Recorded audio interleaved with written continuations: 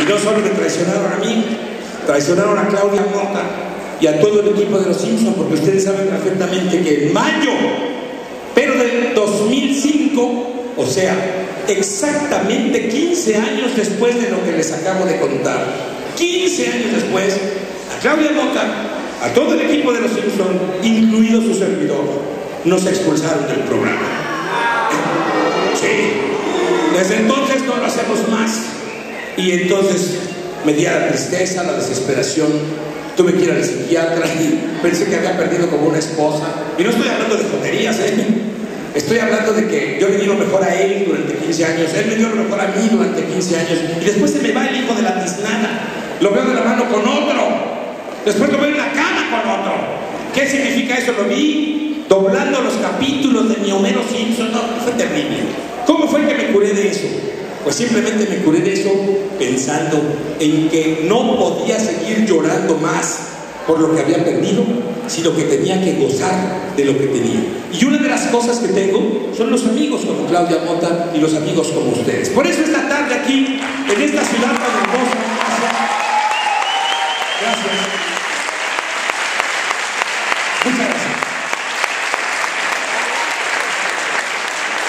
Por eso, esta tarde aquí en San Luis Potosí, yo lo que vengo a hacer es darles las gracias a ustedes, porque durante todo este tiempo, incluso después del tiempo en que me corrieron de la serie, ustedes siguen pensando que el trabajo que dejamos ahí, Claudia Mota, su servidor y el resto del equipo, vale la pena.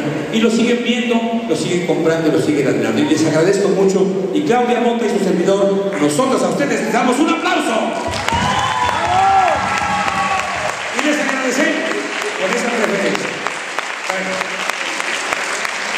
Ven aquí mi vida. Yo podría seguir hablando aquí el resto de, mi, de mis días, pero, pero yo quiero mejor que ustedes que están aquí reunidos y que nos tienen aquí enfrente, nos hagan las preguntas que nos han querido hacer siempre. A veces dicen, uy, ¿cómo no tengo yo aquí al idiota de Humberto Vélez enfrente para preguntarle por qué esto y por qué lo? Bueno, ahora el idiota de Humberto Vélez está aquí enfrente de ustedes y le, y le van a preguntar lo que ustedes quieran. La mecánica es, levántense, tómense la molestia, fórmense aquí, yo les paso el micrófono y hacen la pregunta uno por uno. ¿Les parece bien? Venga, órale, va, rápido para que no te gane, gordo. ¿Cómo te llamas, gordo? ¿Y a quién? ¿Cómo te llamas y a quién va dirigida tu pregunta? Toma, cógelo. El micrófono, idiota. A ver, Carlos Enrique y a Claudia Mota. ¿Y cómo fue que te escogieron para hacer a Loremi en la casa? Sí. A Doremi, mira, fue en la segunda temporada de Magical Doremi, eh, porque tú sabes que era Vanessa Costa. Ajá, pero obviamente Vanessa Costa se fue a hacer novelas en TV Azteca y bueno, se hace casting y mira, me quedé con Magical Doremi. Sí. Como Loremi. Virigala Papurina Pequelato, Pepe Lato, conviérteme en brujita de inmediato.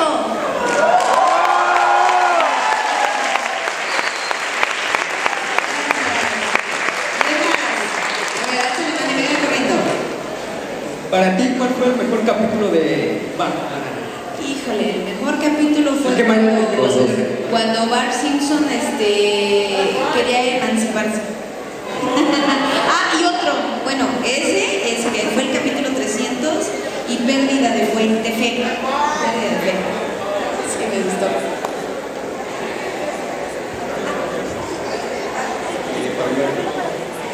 Adelante. Eh, cuando te llamaron para doblar la voz de Rice de League of Legends, este. ¿La voz de quién? Rice, de League of Legends. Rice, el mono azul. ¿Qué? ¿Qué? ¿Qué? ¿Cómo te sentiste cuando lo doblaste? ¿Qué? ¿Cómo te sentiste cuando lo doblaste? Me sentí hombre finalmente. ¿Te acuerdas cómo hablé ese hijo de la fregada? con una voz tan grave que me cuesta tanto trabajo hacer esa voz. Que hasta se me sale un dispositivo intrauterino. El trabajo que me cuesta. Gracias por tu pregunta, Ginal. Gracias.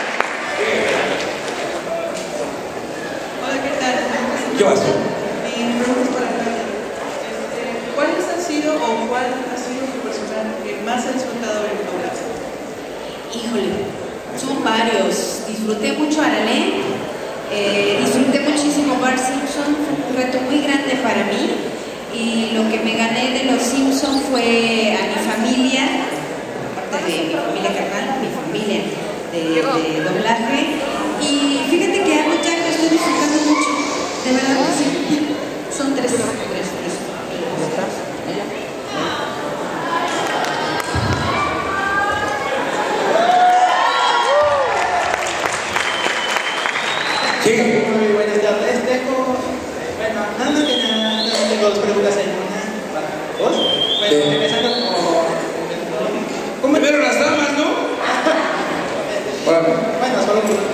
Sí. voy a preguntar por curiosidad. Bueno, Bueno. para empezar, este, ¿qué es lo que te identifica más con el personaje de Homero? ¿A mí? Sí. ¿Qué me identifica a mí? Espero que nada, baboso. Perdón. Espero que nada, amigo. Homero, fíjate bien lo que te voy a decir. ¿Sí o no? Contéstame tú. ¿Homero es un ebrio? No. Bueno, Yo- más o menos. Yo no tomo nada, ni rompope, ni chocolate sin nada. ¿eh? Estamos igualitos. Nada. Solamente cuando me dicen toma es lo único que tomo. Pero no tomo nada de alcohol. Homero fuma. ¿Qué marca de cigarros fuma Homero? Laramie. Yo no fumo. Homero se roba el cable, ¿no es cierto? Sí. Yo no me robo nada. Entonces estamos igualitos. Ay, sí, tú y Homero, ¿no? Tú y yo. Uh, Espero que no me identifique nada con él, baboso. ¿Estamos igual? ¿Tú tomas? No. Bueno, no, pues no. ¿Tú fumas? No. ¿Te robas el cable? No. Entonces tú y yo estamos iguales. Ok, muchas gracias. Un aplauso para él. ¡Bravo! Eh, para- ¿Quién sigue? Espérame, para la Cris. Ah, para Claudia, sí. Sí. Antes que nada, ¿cómo te sentiste a que doblaras a también mi personaje favorito, a Doremi Harukase, la brujita? Ah, Doremi. Muy bien, me gustó, me gustó mucho ese personaje. Bueno, yo desde mi vida he querido. Bueno, yo desde mi vida he querido decir: ¡Doremi! ¡No le digas a- no le reveles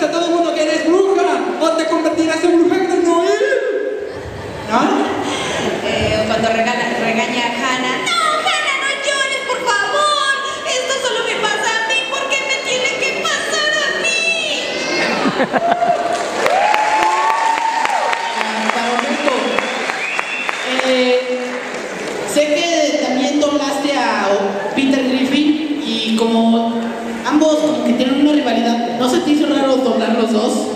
Mira, vas a ver una cosa. A ver, échame el track número. Fíjense muy bien porque voy a hacer una demostración de doblaje en vivo aquí mismo. Échame.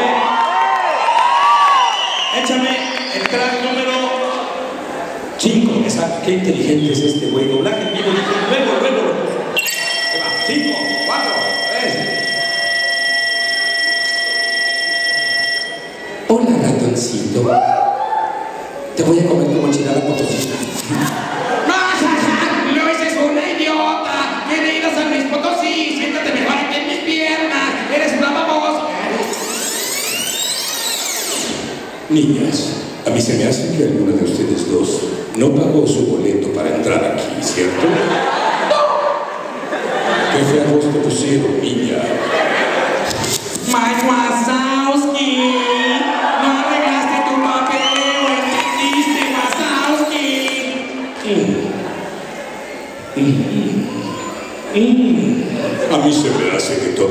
ustedes son unos...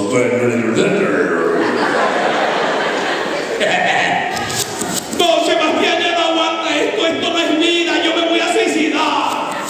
¡Se suicides, estúpido! ¿Eh? ¡Sí, yo soy bichos de la pulga PT! ¡Al revés, baboso! Yo soy tu padre, niña. Yo soy Wormont, tú eres tú estás bien, tú estás mal. ¿Entendiste? Yo soy tu padre. Hola, Soy Humberto Vélez y estoy aquí para demostrarles que el doblaje se puede hacer en vivo y a todo color. Y se puede ver viendo la pantalla o sin ver la pantalla, así, mirándolos a ustedes. Y demuestro que un idiota puede doblar a otro idiota. Eso es.